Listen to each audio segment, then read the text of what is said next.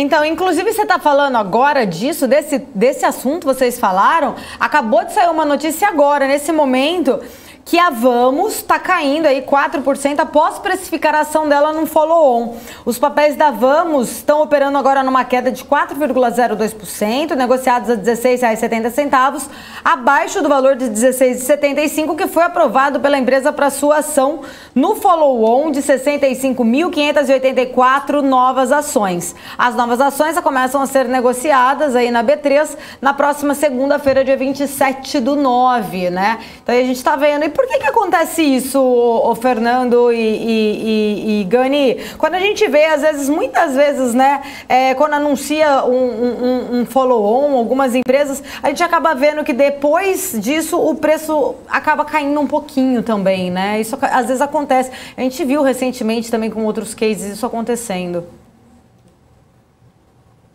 É, é, assim, quando você tenta analisar o mercado diariamente, o que acontece com os preços, é, você tende a ficar meio maluco, para falar a verdade, porque no curto prazo é. o mercado é uma máquina de votação. É uma máquina Sim. de votação com um monte de gente que toma 30 cafés por dia querendo acertar a próxima bola da vez.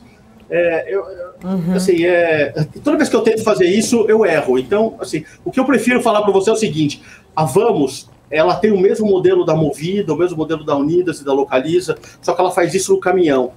E o caminhão, ele, ele, ele tem uma questão uso muito mais intensa e intensiva do que um carro e que precisa de manutenção. É, o modelo de terceirização de frota, utilizando a, a JSL, que é a dona da, da Vamos, para fazer isso, é um enorme mercado para Vamos e que nem começou a se desenvolver ainda. É um baita negócio. Então, assim, eles estão captando dinheiro no follow-on porque não para de ter demanda.